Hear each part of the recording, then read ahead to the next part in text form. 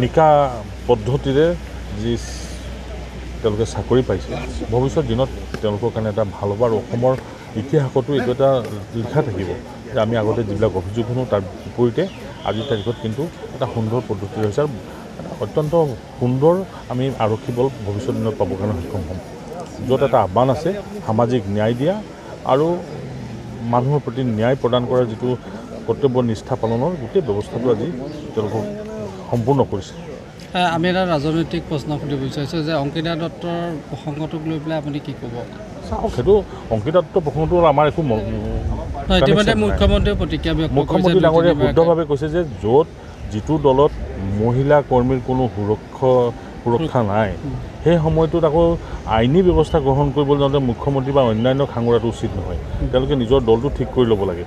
মহিলা ম- কৰ্মীক কেনেকৈ ব্যৱহাৰ কৰিব লাগে নেত্ৰীকে যদি তেনেকুৱা ব্যৱহাৰ কৰে কৰ্মীক কি ধৰণে ব্যৱহাৰ কৰিব? তাৰমানে ইতিহাসত যদি খুচৰা যায় এনেকুৱা বহু ঘটনা ওলাব যিখিনি নেকি মানুহৰ সন্মুখলৈ নাহিলে।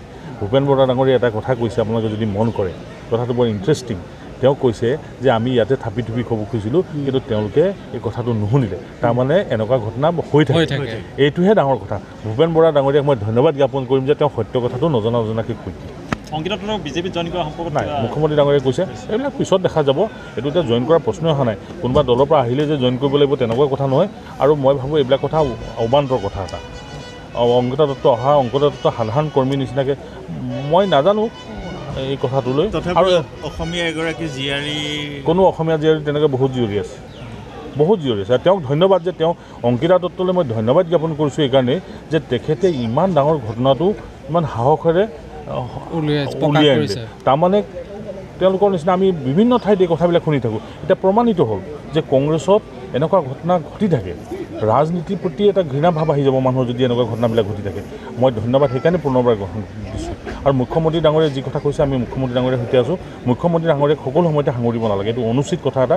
এইবিলাক কথা ক'লে নহয় এগৰাকী ৰেচপনচিবল মুখ্যমন্ত্ৰী ইমান সৰু কথালৈ নাযায়। তেওঁলোকে নিজৰ মানুহক সুৰক্ষা দিয়ক তাৰ ঠিক আছে।